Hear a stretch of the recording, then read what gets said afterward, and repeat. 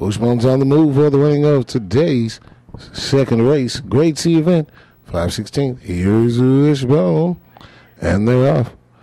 At the break, it's 4, 5, 3, 1, 6, 7, 2, and 8.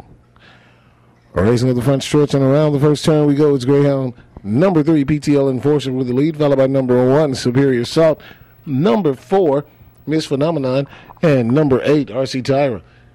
Down the back stretch and into the final turn. 3 4, 8 1, 5 6, 2, and 7. Rounding the far turn now, headed up the home stretch. Still number 3, PTL Enforcer with the lead. And down the stretch into the wire. 3 4, 8, and 5 at the wire. Please hold all mutuel tickets until the race has been declared official. Split exact of three with any Greyhound pays $24.80. Any Greyhound with four pays $13.40. 3 4 Quinella pays 50